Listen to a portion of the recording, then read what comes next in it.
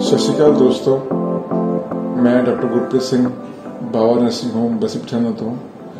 Medical specialist ਅੱਜ ਤੁਹਾਡੇ ਫੇਰ ਰੂਬਰੂ ਹੋਣ ਜਾ ਰਹੇ ਹਾਂ।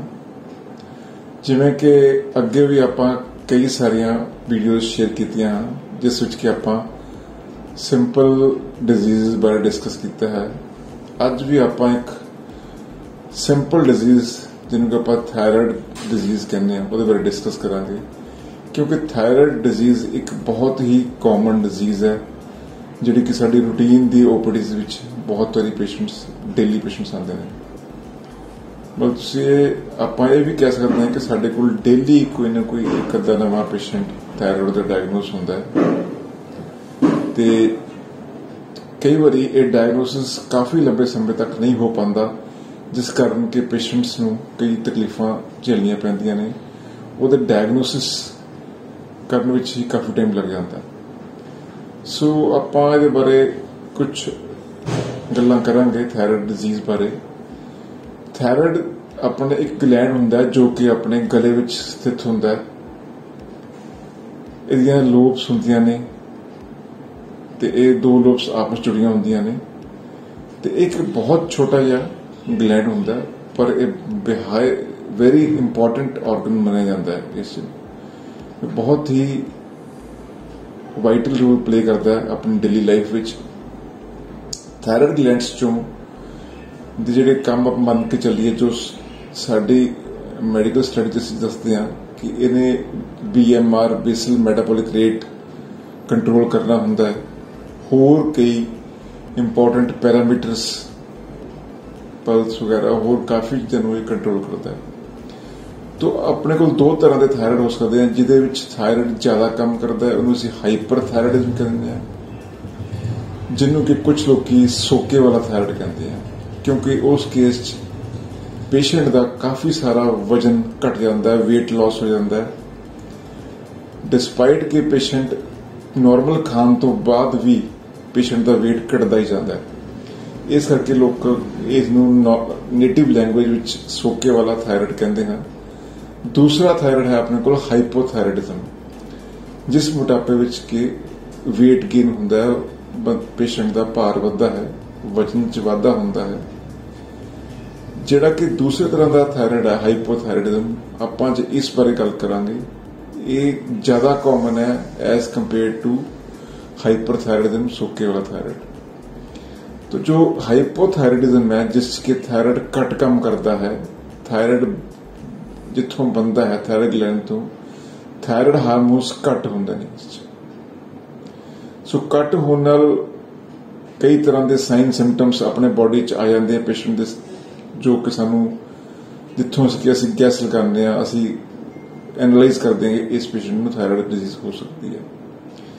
ਇਹ ਹਾਈਪੋਥਾਇਰਾਇਡਿਜ਼ਮ ਫੀਮੇਲਸ 'ਚ ਜ਼ਿਆਦਾ ਕਾਮਨ ਹੈ ਇਸਤਰੀਆਂ 'ਚ ਜ਼ਿਆਦਾ ਕਾਮਨ ਹੈ। ਇਹ ਯੰਗ ਫੀਮੇਲਸ 'ਚ ਜ਼ਿਆਦਾ ਕਾਮਨ ਹੈ। ਬਾਕੀ ਇਹ ਰਿਪਰੋਡਕਟਿਵ ਏਜ ਵਿੱਚ ਜ਼ਿਆਦਾ ਕਾਮਨ ਪਾਇਆ ਜਾਂਦਾ ਹੈ। ਸੋ ਸਾਡੇ ਕੋਲ ਕੁਝ ਸਾਈਨ ਸਿੰਪਟਮ ਬੜੇ ਕਾਮਨ ਸਾਈਨ ਸਿੰਪਟਮ ਨੇ ਜਿਸ ਲੈ ਕੇ ਪੇਸ਼ੈਂਟ ਸਾਡੇ ਕੋਲ ਆਂਦਾ ਕਈ ਲੇਡੀਜ਼ ਆਉਂਦੀਆਂ ਨੇ ਕਿ ਸਰ, ਮੇਰਾ weight gain ਹੋ ਜਾਂਦਾ ਹੈ। ਮੈਂ ਕਾਫੀ ਕੋਸ਼ਿਸ਼ ਕਰਨ ਦੇ ਬਾਵਜੂਦ ਵੀ ਮੇਰਾ weight ਕੰਟਰੋਲ ਨਹੀਂ ਹੋ ਰਿਹਾ। ਤੇ ਟੈਸਟ ਕਰਨ ਤੇ ਪਤਾ ਲੱਗਦਾ ਕਿ ਉਹ ਪੇਸ਼ੈਂਟ ਨੂੰ ਹਾਈਪੋਥਾਇਰਾਇਡਿਜ਼ਮ ਡਿਜ਼ੀਜ਼ ਹੈ। ਉਹਦਾ ਥਾਇਰਾਇਡ ਹਾਰਮੋਨ ਘੱਟ ਸਕ੍ਰੀਟ ਹੋ ਰਿਹਾ ਹੈ। ਟੀਕੇਐਸਐਚ ਵੱਧ ਜਾਂਦਾ ਹੈ।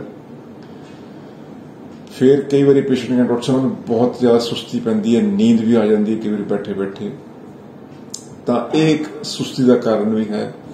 ਇਹਦੇ ਵਿੱਚ ਸਕਿਨ ਕਾਫੀ ਡਰਾਈ ਹੋ ਜਾਂਦੀ ਹੈ ਕੋਰਸ ਡਰਾਈ ਸਕਿਨ ਹੋ ਜਾਂਦੀ ਹੈ। ਨੰਬਰ 4 ਇਹਦੇ ਵਿੱਚ ਮੈਂਸਟਰਲ ਇਰੈਗੂਲਰਿਟੀ ਆ ਜਾਂਦੀ ਹੈ। ਮਤਲਬ ਪੀਰੀਅਡਸ ਵਿੱਚ ਇਰੈਗੂਲਰ ਕਈ ਵਾਰੀ ਦੋ ਦੋ ਮਹੀਨੇ ਪੀਰੀਅਡਸ ਮਿਸ ਹੋ ਜਾਂਦੇ ਨੇ। ਤੋ ਇਹ ਸਾਰੇ ਸਾਈਨ ਸਿੰਪਟਮ ਇਸ ਹਾਈਪੋਥਾਇਰਾਇਡਿਜ਼ਮ ਡਿਜ਼ੀਜ਼ ਦੇ ਹੈਗੇ ਨੇ। ਜਿੱਥੋਂ ਕਿ ਅਸੀਂ ਅਸੈਸ ਕਰਦੇ ਹਾਂ ਕਿ ਇਸ ਪੇਸ਼ੈਂਟ ਨੂੰ ਥਾਇਰਾਇਡ ਹੋ ਸਕਦਾ ਹੈ। ਕਈ ਵਾਰੀ ਅਸੀਂ ਪੇਸ਼ੈਂਟ ਨੂੰ ਪੁੱਛਦੇ ਹਾਂ ਵੀ ਤੁਸੀਂ ਕੋਈ ਟੈਸਟ ਕਰਵਾਇਆ ਹੈ, ਤੁਹਾਨੂੰ ਕੋਈ ਡਿਜ਼ੀਜ਼ ਹੈ, ਤਾਂ ਪੇਸ਼ੈਂਟ ਬੜਾ ਕਲੀਅਰਲੀ ਸਾਨੂੰ ਮਨਾ ਕਰ ਦਿੰਦਾ ਵੀ ਨਾ ਜੀ, ਮੈਂ ਤਾਂ ਬਿਲਕੁਲ ਹੈਲਦੀ ਹਾਂ।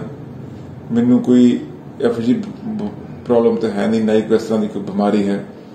ਪਰ ਅਸੀਂ ਫਿਰ ਵੀ ਬਹੁਤ ਇਨਸਿਸਟ ਕਰਦੇ ਹਾਂ, ਜਦੋਂ ਸਾਨੂੰ ਕਿਸੇ ਗੱਲ ਤੇ ਸ਼ੱਕ ਪੈਂਦਾ ਹੈ ਕਿ ਹੋ ਸਕਦਾ ਹੈ ਇਸ ਪੇਸ਼ੈਂਟ ਨੂੰ ਥਾਇਰਾਇਡ ਡਿਜ਼ੀਜ਼ ਹੀ ਹੋਵੇ।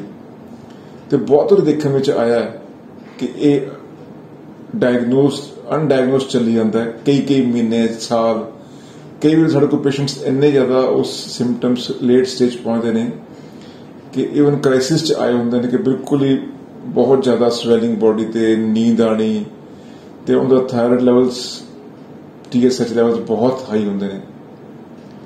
ਤੋ ਇਹ ਪੇਸ਼ੈਂਟ ਨੂੰ ਸਿੰਪਟਮ ਪੁੱਛੋ ਤਾਂ ਕਹਿ ਰਹੇ ਜੀ ਤੁਹਾਨੂੰ 6 ਮਹੀਨੇ, ਸਾਲ ਦਾ ਹੋ ਗਿਆ, ਇਸ ਸੁਸਤੀ ਨੂੰ ਵੱਧਦੀ ਜਾ ਰਹੀ ਹੈ, ਵੱਧਦੀ ਜਾ ਰਹੀ ਹੈ, weight ਵੱਧਦਾ ਜਾ ਰਿਹਾ ਸੋ ਜਿੰਨਾ ਆਪਾਂ ਇਹਨੂੰ ਜਲਦੀ अर्ਲੀ ਡਾਇਗਨੋਸ ਕਰਾਂਗੇ, ਉਨੀ ਜਲਦੀ ਟ੍ਰੀਟਮੈਂਟ ਹੋਏਗਾ।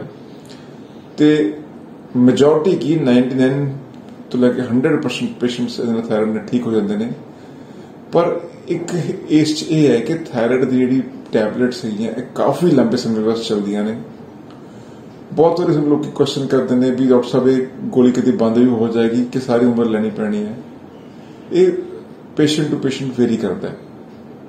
ਪਰ ਮੈਜੋਰਟੀ ਆਫ ਕੇਸਿਸ ਚ ਇਹ ਕਾਫੀ ਲੰਬੇ ਸਾਲਾਂ ਤੱਕ ਲਾਈਫ ਲੌਂਗ ਵੀ ਚੱਲਦੀ ਹੈ।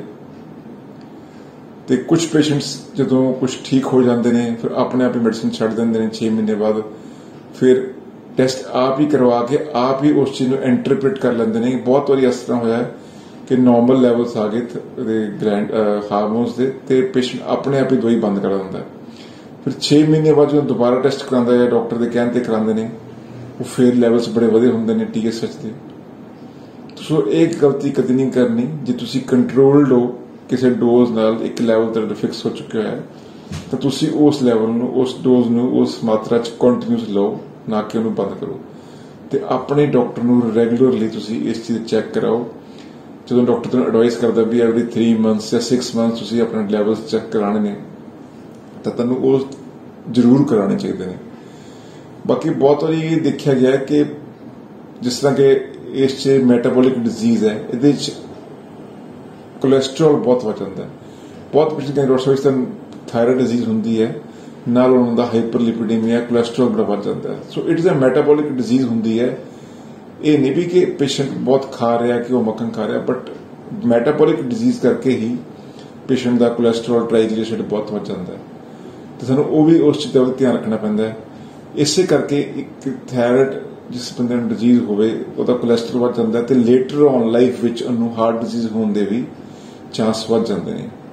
ਸੋ ਥਾਇਰਾਇਡ ਨੂੰ ਕੰਟਰੋਲ ਰੱਖਣਾ ਬਹੁਤ ਜ਼ਰੂਰੀ ਹੈ ਤੇ ਮੈਂ ਇੱਥੇ ਇਹੀ ਐਡਵਾਈਸ ਕਰਾਂਗਾ ਜੇ ਤੁਹਾਨੂੰ ਕੋਈ ਇਸ ਤਰ੍ਹਾਂ ਸਿੰਪਟਮਸ ਹੈਗੇ ਨੇ, weight gain ਹੈਗਾ ਐਕਸੈਸਿਵ ਕੁਝ ਸਵਾਲ ਤੁਹਾਡੇ ਫੇਸ ਤੇ ਆ ਰਹੇ ਆ ਰਹੇ ਨੇ, ਸੁਸਤੀ ਜ਼ਿਆਦਾ ਪੈਂਦੀ ਹੈ ਪੀਰੀਅਡਸ ਕੋਈ ਇਰੈਗੂਲਰਿਟੀ ਆਉਂਦੀ ਹੈ ਜਾਂ ਪੀਰੀਅਡਸ ਤਿੰਨ ਤਿੰਨ ਮਹੀਨੇ ਨਹੀਂ ਆਉਂਦੇ ਸਕਿਨ 'ਚ ਕੋਈ ਕੋਰਸਨੈਸ ਜਾਂ ਸਕਿਨ 'ਚ ਡਰਾਈਨੈਸ ਆਉਂਦੀ ਹੈ, ਤੁਸੀਂ ਆਪਣੇ ਡਾਕਟਰ ਨੂੰ ਮਿਲੋ ਤੇ ਮਿਲ ਕੇ ਉਹਨੂੰ ਥਾਇਰਾਇਡ ਚੈੱਕ ਕਰੋ। ਤੇ ਇਹ ਦਵਾਈ ਲੈਣੀ ਵੀ ਬਹੁਤ ਸੌਖੀ ਹੈ। ਬੇਸਿਕਲੀ ਇੱਕ ਮੈਡੀਸਨ ਨਹੀਂ, ਇੱਕ ਹਾਰਮੋਨ ਰਿਪਲੇਸਮੈਂਟ ਹੈ। ਜਿਹੜਾ ਹਾਰਮੋਨ ਆਪਣੇ ਬਾਡੀ 'ਚ ਨਹੀਂ ਬੰਦਾ ਪਿਆ, ਉਸ ਹਾਰਮੋਨ ਨੂੰ ਲੈਣਾ ਹੀ ਇੱਕ ਇਹਦੀ ਟ੍ਰੀਟਮੈਂਟ ਹੈ। ਕੋਈ ਜਿਹੜੀ ਡੈਫੀਸ਼ੀਐਂਟ ਹੈ ਬਾਡੀ 'ਚ, ਉਹੀ ਇੱਕ ਇਹਦਾ ਟ੍ਰੀਟਮੈਂਟ ਵੀ ਉਹੀ ਹੈ। ਕੋਈ ਬਹੁਤ ਲੰਬਾ ਚੌੜਾ ਨਹੀਂ ਇੱਕ ਟੈਬਲੇਟ ਲੈਣੀ ਹੁੰਦੀ ਹੈ। ਪ੍ਰੈਫਰੇਬਲੀ ਖਾਲੀ ਪੇਟ ਹੀ ਇਹਦਾ ਇਫੈਕਟ ਆਉਂਦਾ। ਸਵੇਰੇ ਉੱਠਦੇ ਸਾਰ ਤੁਸੀਂ ਇਹ ਟੈਬਲੇਟ ਲਓ। ਤੇ ਤੁਹਾਨੂੰ ਵਿਦਿਨ 3 ਵੀਕਸ ਇਹਦਾ ਇਫੈਕਟ ਆਣਾ ਸ਼ੁਰੂ ਹੋ ਜਾਂਦਾ ਤੇ ਪੇਸ਼ੈਂਟ ਆਪਣੇ ਆਪ ਹੀ ਕਹਿੰਦਾ, ਡਾਕਟਰ ਸਾਹਿਬ, ਮੈਂ ਹੁਣ ਐਕਟਿਵ ਹੋ ਗਿਆ। ਮੈਂ ਆਪਣੇ ਸਾਰੇ ਕੰਮ ਬੜੇ ਫੁਰਤੀਲੀ ਤਰੀਕੇ ਨਾਲ ਕਰ ਲੈਣਾ ਤੇ ਮੈਨੂੰ ਹੁਣ ਜੋ ਪਹਿਲਾਂ ਮੈਂ ਫੀਲ ਕਰਦਾ ਸੀ, ਉਹ ਨਹੀਂ ਹੁੰਦਾ। ਸੋ ਇਹ ਸਭ ਨੂੰ ਮੈਂ, ਅਸੀਂ ਸਾਡੇ, ਕਿਉਂਕਿ ਇਹ ਆਪਾਂ ਬੜੀ ਸਿੰਪਲ ਡਿਜ਼ੀਜ਼ ਹੈ। ਈਜ਼ੀਲੀ ਡਾਇਗਨੋਸ ਹੋ ਜਾਂਦੀ ਹੈ ਈਜ਼ੀਲੀ ਸਿੰਪਲ ਟੈਸਟ ਨੇ ਲੈਬ ਵਿੱਚ। ਤੇ ਇਹਦਾ ਟ੍ਰੀਟਮੈਂਟ ਵੀ ਬਹੁਤ ਸਿੰਪਲ ਹੈ, ਇੱਕ ਟੇਬਲੇਟ ਸਿਰਫ ਲੈਣੀ ਹੈ। ਸੋ ਅਸੀਂ, ਮੈਂ ਸਭ ਨੂੰ ਇਹੀ ਅਪੀਲ ਕਰਾਂਗਾ ਕਿ ਜੇ ਕਿਸੇ ਨੂੰ ਸਾਈਨ ਸਿੰਪਟਮ ਕੋਈ ਇਸ ਤਰ੍ਹਾਂ ਦੇ ਹੋਣ, ਤਾਂ ਡਾਕਟਰ ਨੂੰ ਮਿਲ ਕੇ ਉਹਦੀ ਸਲਾਹ ਨਾਲ ਟੈਸਟ ਕਰਾਓ। ਤੇ ਅਕੋਰਡਿੰਗਲੀ ਜੋ ਡਾਕਟਰ ਤੁਹਾਡਾ ਪ੍ਰਿਸਕ੍ਰਾਈਬ ਕਰਦਾ ਹੈ, ਤੁਹਾਨੂੰ ਸੁਜੈਸਟ ਕਰਦਾ ਹੈ, ਤੁਸੀਂ ਉਨੀ ਡੋਜ਼ ਦੀ, ਉਨੀ ਮਾਤਰਾ ਦੀ ਗੋਲੀ ਤੁਸੀਂ ਖਾਓ। ਤੇ ਬੜੇ ਸਿੰਪਲ ਤੁਸੀਂ ਲਾਈਫ ਲੈ ਸਕਦੇ ਹੋ। ਇਹ ਬਹੁਤ ਕਾਮਨ ਡਿਜ਼ੀਜ਼ ਹੈ। ਇਵਨ ਯੂ ਕੈਨ ਸੇ ਕਿ ਐਵਰੀ ਥਰਡ ਤੀਸਰੇ ਲੇਡੀਜ਼ ਨੂੰ ਇਹ ਡਿਜ਼ੀਜ਼ ਹੈ ਹਾਈਪੋਥਾਇਰਾਇਡਿਜ਼ਮ ਦੀ। ਕੋਈ ਘਬਰਾਉਣ ਵਾਲੀ ਇਸ ਗੱਲ ਨਹੀਂ। Easy to diagnose easy to treat so ਇਸ ਨਾਲ ਮੈਂ ਆਪਣਾ ਸੈਸ਼ਨ ਖਤਮ ਕਰਦਾ। Thank you for listening